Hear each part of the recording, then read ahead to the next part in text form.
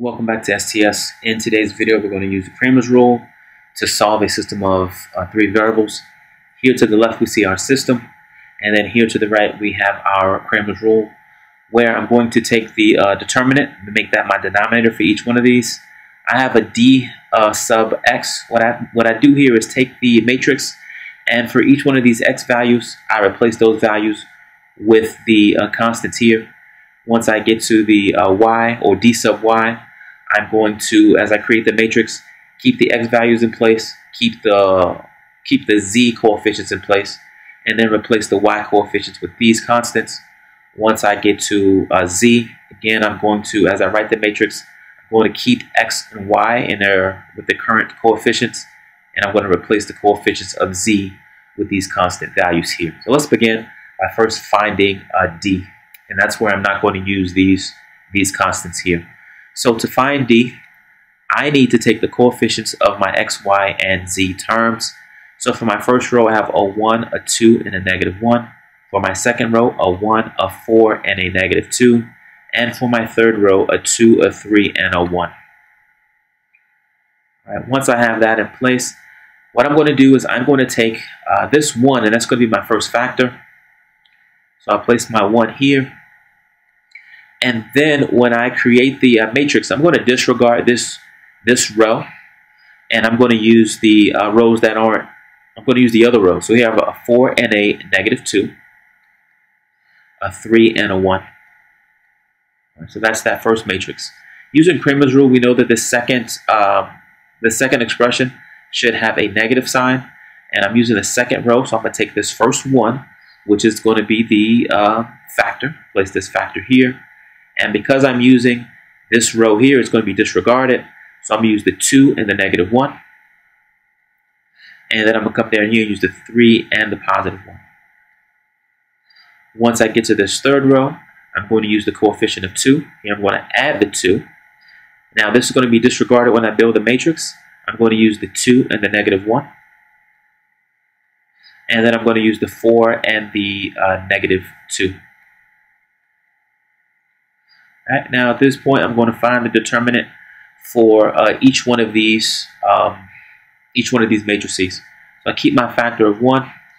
4 times 1 gives me 1 minus 3 times negative 2 gives me a negative 6, but that's going to make this a positive 6. I put in my minus sign and my 1. 2 times 1 to give me 2. Put in my minus sign. 3 times negative 1 gives me a negative 3. But I already have a minus, so that makes that a plus 3. I put in my positive 2 uh, factor. Uh, now I have 2 times negative 2 to give me a negative 4. Put in my minus sign. Then I have 4 times negative 1 to give me a negative 4, but I already have a negative, so that there becomes a positive 4. And now I simplify. 4 plus 6 is 10, and 10 times 1 is 10. 2 plus 3 is 5, and 5 times that negative 1 is a negative 5. And then over here I have 4 minus, I'm sorry, negative 4 plus 4 is 0. And 0 times that 2 gives me 0. So as I simplify here, I have 10 minus 5 to give me a positive 5. And that's what the D is going to be for uh, each one of these. So let's just squeeze that in. 5, 5, and 5. Now we need to find the numerators. Let's begin with x. What we're going to do is we're going to actually rewrite this uh, matrix, but we're going to, for the uh, x values, they're going to be replaced by these constant values here. And let's see if I can squeeze that in place without having to without having to scroll. Let's do that in a different color to show some separation. All right, so d sub x is equal to, well, I'm going to put in for the x um, coefficients, those are going to be changed and replaced by these constant values. So here I have a negative 4, a negative 6, and a 3. The y and z coefficients stay the same. So I have a 2, a 4, and a 3, a negative 1, a negative 2, and a 1. And now I need to go through the process of finding the determinant for d sub x. And I'm going to do the same thing that I did up here. Keep my first row. Well, my first row is going to be uh, what I'm using. So I'm going to keep this factor of negative 4. And now I'm going to disregard the first row and grab the 4 and the negative 2, the 3 and the 1. So 4 to negative 2, the 3 and the positive 1. Remember that negative sign. Now come to the second row. The, the not coefficient, but the factor I'm going to take is the negative 6. I'll use parentheses here to keep those negatives uh, in place. And I'm going to disregard this row. I'm going to grab the 2 and the negative 1. And then come down here and grab the 3 and the 1. And then for the last expression, I'm going to grab this uh, 3 as a factor. And when that 3 is grabbed, I disregard this row. So I'm going to use the 2 and the negative 1. And then I'm going to use the 4 and the negative 2. And I'm going to begin the same process uh, to evaluate. Right, as I evaluate, I keep my factor of negative 4. And then 4 times 1 to give me 4. Put in my minus sign. 3 times negative 2 gives me a negative 6, but I already have a minus sign, so that makes that a positive 6. Uh, this negative and positive, um, sorry, these negatives uh, resolve to a positive. So I keep my 6. Now 2 times 1 to give me 2. Place in my negative. 3 times negative 1 to give me a negative 3. But I already have a negative, so that's a positive 3. Keep this factor of 3. 2 times a negative 2 to give me a negative 4. Put in my minus sign. And then 4 minus, sorry, 4 times a negative 1 gives me a negative 4, but this sign changes here to be a positive. And now I evaluate um, 4 plus 6 to give me 10, and 10 times negative 4 to give me a uh, negative 40. And then here I have 2 plus 3 to give me 5, and then 5 times 6 to give me 30. And then over here, negative 4 plus 4 is 0. And then uh, the 0 times the 3 to give me a uh, 0. So what I'm left with here is negative 40 plus 30, and that there gives me a negative 10. So here I found up here for d sub x, that's going to be negative 10. And I know that negative 10 divided by 5 is a negative 2. So that's the value that we have for x. Let's go ahead and work on uh, d sub y. So let's again go to a different color. So here we have d sub y. All right, let's scroll back up. We're going to keep the the um, the x and the z's are going to stay. The y's have to be replaced. So it's a 1, 1, 2, and then a negative 1, negative 2, 1. So here we have the 1, 1, 2, and then I have the negative 1, the negative 2, and the 1 but these uh, the y um, coefficients have to change to these constants of negative 4, negative 6, and positive 3. So let's put these in place. Negative 4, negative 6, and the positive 3. And we're going to go through the same process. I'm going to keep my 1 coefficient, and I'm going to use the negative 6 and negative 2, and then the 3 and the 1. Don't forget that minus sign. Then I come to my second row, I keep the coefficient of 1. And I'm going to disregard that row and use the negative 4 and the negative 1. And then come down here and use the 3 and the 1. And then I come to my last section here, my last row, keep this keep this uh, factor of 2. And now it's going to be disregarded, so I'm going to use the negative 4 and the negative 1 and I'm going to use the negative 6 and the negative 2. And now I go ahead and evaluate. Keep this 1 as my factor in front. Negative 6 times 1 is a negative 6. Put in my minus sign. 3 times a negative 2 is a negative 6, but I'm going to make this a positive 6. My minus sign in my 1. Negative 4 times 1 gives me a negative 4. Put in my minus sign. 3 times a negative 1 is a negative 3. So this here turns into a positive 3. Keep this 2. Um, negative 4 times a negative 2 is a positive 8. Place in my minus sign. And a negative 6 times a negative 1 is a positive 6. So I'll just place my 6 here. And then I'm begin to evaluate. Negative 6 plus 6 is 0. And 0 times 1 is 0. Now I have a negative 4 plus 3 is a negative 1 and then a negative 1 times 1 gives me a positive 1. Let's make that look more like a 0. Then over here I have uh, 8 minus 2, which is 6. I'm sorry, 8 minus, sorry, 8 minus 6, which is 2, and then 2 times 2 to give me a 4.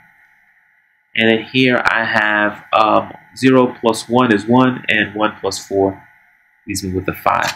So I see that the d sub y is a 5. So let's go ahead and put this in place. So up here I have 5 divided by 5. So I see that y is equal to 1. And now I go to work on uh, z. All right, when I go to work on z, let's see if I can squeeze this in here on the same page. Let's go to brown. All right, so I have d with the subscript of z my x's and y's stay the same. I know my x's were the 1, the 1, and the 2. Let's scroll up to get the y's. Alright, the y's were the 2, the 4, and the 3. I'll go up higher so you can see that as well. The y's were the 2, the 4, and the 3. So let's put in the 2, the 4, and the 3. And now the z has to be replaced. And the z is replaced by these constants. But again, let's scroll up so you can see them so there's no confusion and that's the negative 4, the negative 6, and the positive 3. So the uh, negative 4, the negative 6, the positive 3. And now let's go ahead and grab these, uh, co not coefficients, let's grab these factors in the front. So for the first row, it's a 1. And since I'm using the 1, I, I have to disregard the 2 and the negative 4. So I'm going to use the 4 and the negative 6. Actually, let's change my notation here. I'm going to use the uh, 4 and the negative 6, and then the 3 and the 3. Don't forget this negative. I go to my second row, grab that 1 as the, as the uh, factor. And since now I'm going to disregard that, so I'm going to use the 2 and the negative 4. And then come down here use the 3 and the 3. And then when I get to the last uh, row here, I have a 2, which is going to be my factor. And when I build a matrix, I disregard these threes. I'm going to use the 2 and the negative 4. And then come down here, use the 4 and the negative 6. And now I begin to evaluate just like I've done above. I keep my factor of 1. 4 times 3 to give me 12. Put in my minus sign. Uh, 6 times 3, I'm sorry, 3 times a negative 6 to give me a negative, uh, 18. But that's going to turn make this make this a positive 18 put in my minus 1. 2 times 3 to give me 6. Put in my minus sign. 3 times negative 4 to give me a negative 12, but that's going to make this a positive 12. Plus 2.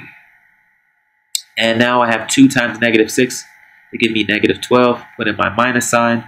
And then I have 4 times negative 4 to give me a negative 16, but it's already a negative here, so this here becomes a positive 16. And then I begin to evaluate well, 12 plus 18 is 30, and 30 times 1 is 30. Then I have my minus sign here.